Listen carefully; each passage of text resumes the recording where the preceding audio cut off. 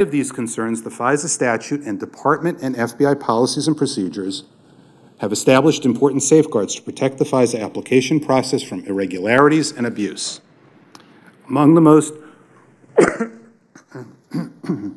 among the most important are the requirements in FBI policy that every FISA application must contain a quote full and accurate close quote presentation of the facts and that agents must ensure that all factual statements in FISA applications are, quote, scrupulously accurate, close quote.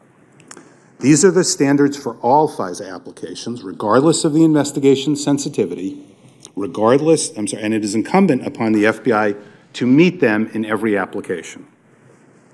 Nevertheless, we found that investigators failed to meet their basic obligations of ensuring that the FISA applications were scrupulous, scrupulously accurate. We identified significant inaccuracies and omissions in each of the four applications, seven in the first application and a total of 17 by the final renewal application.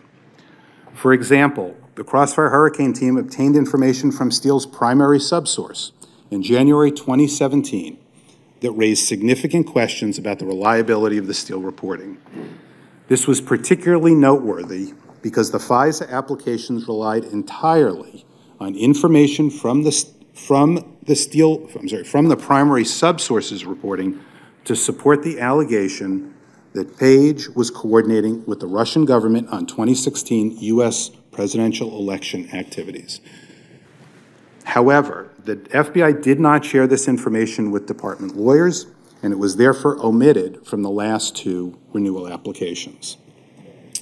All of the applications also omitted information that the FBI had obtained in August 2017, sorry, August 2016, from another U.S. government agency detailing its prior relationship with Page, with Carter Page, including that Carter Page had been approved as an operational contact for that other agency from 2008 to 2013, that Page had provided information to the other agency concerning his prior contacts with certain Russian intelligence officers, and that an employee of that other agency assessed that Carter Page had been candid with them.